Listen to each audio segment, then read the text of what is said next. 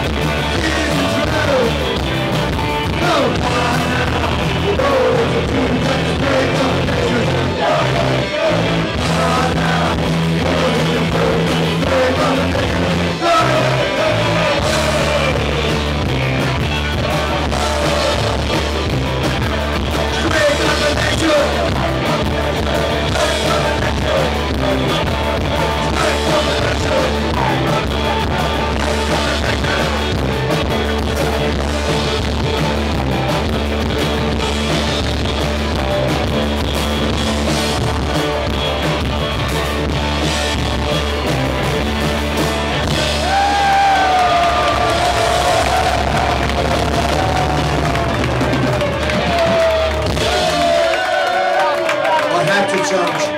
We had to change the lyrics today.